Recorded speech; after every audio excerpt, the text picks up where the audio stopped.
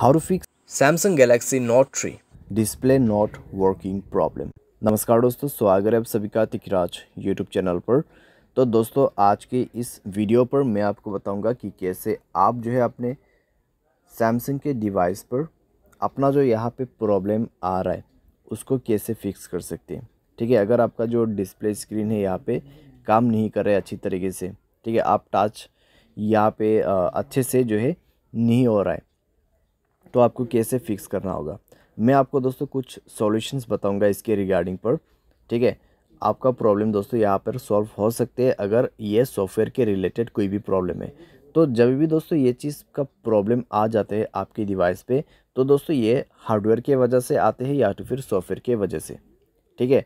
तो दोनों में से दोस्तों कोई भी प्रॉब्लम आपको यहाँ पे हो रहा होगा। अगर आपके स्क्रीन वगैरह डैमेज है तो ये दोस्तों एक हार्डवेयर का इशू है तो आपको सिंपली टेक्नीशियन के पास जाके फिक्स करना होता है, ठीक है? लेकिन दोस्तों, यहाँ पे मान लीजिए आपका स्क्रीन पे कोई भी डैमेज नहीं है, फिर भी आपको इस तरीके का प्रॉब्लम आ रहा है तो आपको कुछ सॉल्यूशन यहाँ पे फॉलो कर लेना है, उसके बाद भी दोस्तों हार्डवेयर का इशू हो सकते हैं, ठीक है?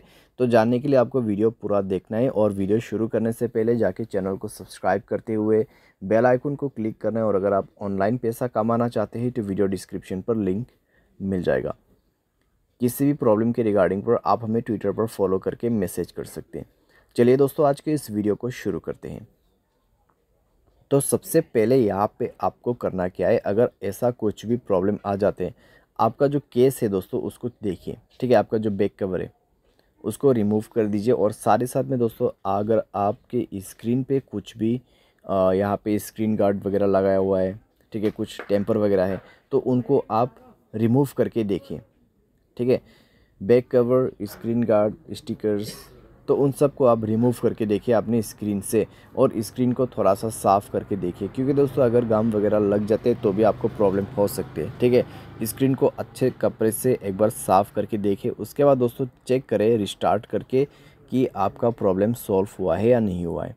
कई बार दोस्तों कई केस में यही रीज़न्स रहते हैं बेसिक्स रीज़न्स और बेसिक सॉल्यूशंस ठीक है?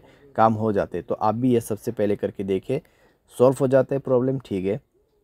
अगर प्रॉब्लम सॉल्व नहीं हो रहा है तो दोस्तों आप जाइए सेटिंग पर, अपना स्टोरेज चेक करें, ठीक है।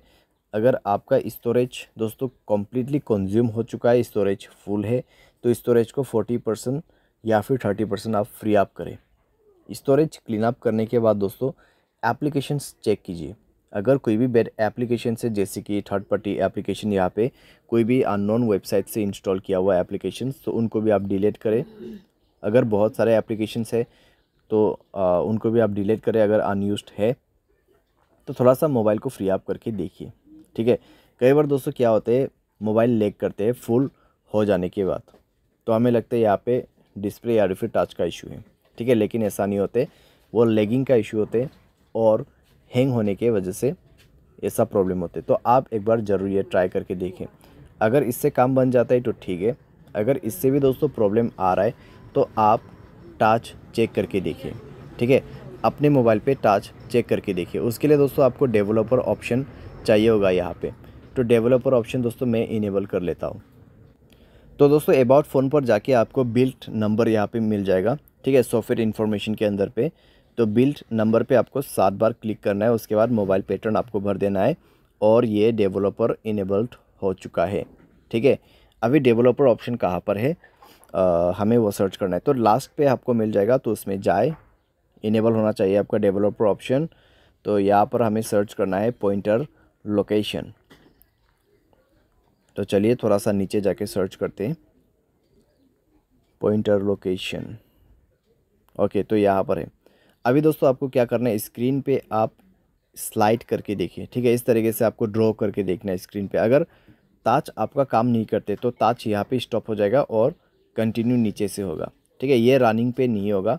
अगर आपका ताज आ, इसी बीच में ठीक है प्रॉब्लम करते तो ताज जो है इस तरीके से यहाँ पर रिमूव होके दोबारा से न्यू ताज करना शुरू हो जाएगा ठीक है? तो आपको पता लग जाएगा किस एरिया में आपका स्क्रीन पे ताज प्रॉब्लम है।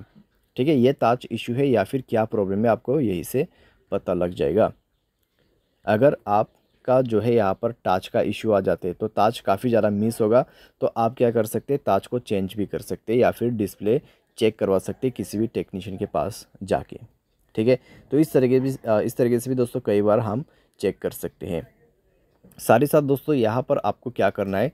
सॉफ्टवेयर अपडेट करना है। सॉफ्टवेयर अपडेट करने से दोस्तों, आपके मोबाइल पे काफ़ी ज़्यादा इंप्रूवमेंट हो जाते हैं। जैसे कि यहाँ पे लिखा हुआ भी है the stability of camera has been improve a software update can include but it's not limited to device stability movement bugs fixes ठीक है बग्स फिक्स हो जाएगा और आपको फीचर्स मिलेगा। तो फर्दर इम्प्रूवमेंट टू परफॉर्म ठीक है तो आपके डिवाइस में और भी ज़्यादा यहाँ पे परफॉर्मेंस अच्छा होने के लिए आपको सॉफ्टवेयर अपडेट दिया जाता है तो सॉफ्टवेयर को अपडेट करें और उसके बाद चेक करके देखें। दोस्तों, इससे काफ़ी आपको फ़ायदा होगा और आपका प्रॉब्लम्स भी यहाँ पे सॉल्व हो जाएगा। ठीक है? तो इस तरीके से आप अपने प्रॉब्लम को फिक्स कर सकते हैं। बाई एनी चांस अगर प्रॉब्लम सॉल्व ना हो तो जाके ही आप अपने मोबाइल को फैक्ट्री रीसेट करें। उसके लिए दोस्तों, आपको क्या करना है?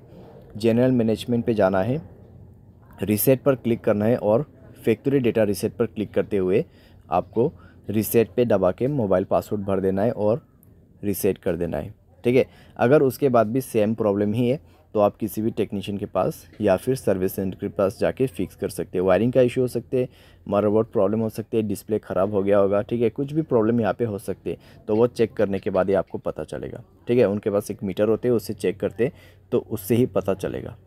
तो इस तरीके से दोस्तों डिस्प्ले स्क्रीन टच प्रॉब्लम हमें फिक्स करना होता है। उम्मीद करते हैं आपको ये वीडियो पसंद आया होगा। Thanks for watching